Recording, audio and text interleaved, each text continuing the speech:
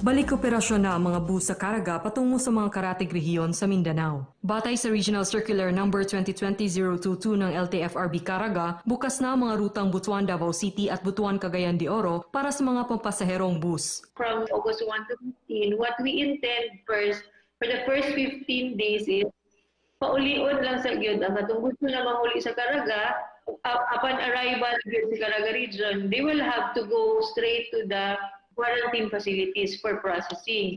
Mahigpit na paalala ni LTFRB Caraga Regional Director Maria Cristina Casion sa mga operator ng mga bus company, dapat na susunod ang minimum health standard tulad ng physical distancing ng mga pasahero, pagsusuot ng face mask at pagkakaroon ng listahan para sa contact tracing ng mga pasahero. Kumpleto rin dapat sa mga health document at permit to travel ang mga bibiyaheng locally stranded individuals. Paalala ni Director Casion, bawal pa ang leisure travel o pagpasyal sa ibang lugar.